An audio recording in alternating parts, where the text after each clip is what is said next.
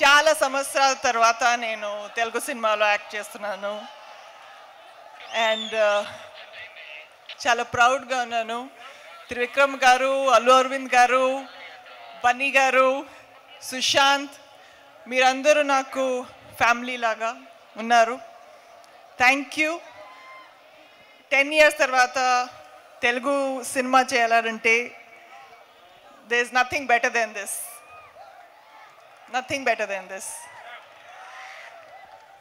మీ ఈ నచ్చితే సక్సెస్ అవుతుంది నా journey I really enjoyed working in this film.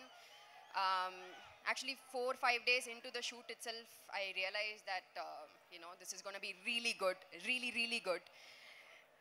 I'm I'm very excited for you all to watch it. So, film chudandi 12th and Nikki. So, yeah, thank you.